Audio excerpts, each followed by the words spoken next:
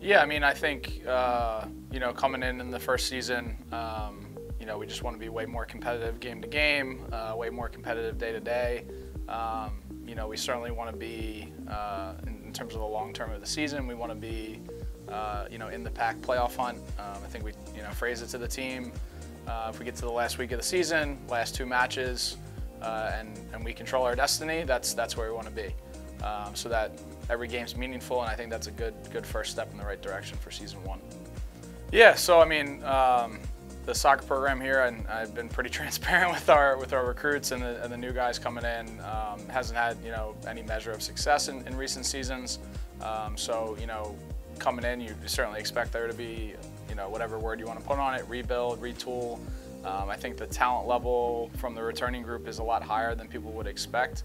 Um, I think we have a lot of you know guys that are all conference caliber type players, um, and they just need it a, a, better a better structure in terms of the program, um, both in the day to day and, the structure on the field.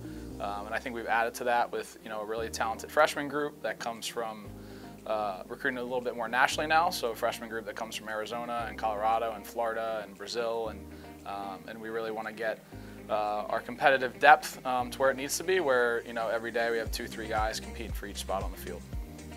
Yeah, so we do kind of like a mentor system, um, done at previous schools as well. Uh, so each of the upperclassmen gets one of the incoming guys, and uh, they pretty much take them under their wing, so they're their you know their resource for questions, both on um, the soccer end of things, anything from our team structure, you know, positional responsibilities, all the way into the academic nature, you know, getting getting into week one right now, and just that the, the time balance aspect of, of, academics with soccer, and um, so we, we, we match guys up, and um, it, it's usually a pretty good system, and they, you know, they, they develop good relationships, and it helps break down some class walls as well, because um, you always have that a little bit. You know, you're always a little bit tighter with with the guys in your class, um, but we want you know, a cohesive, cohesive unit of 32 guys as well.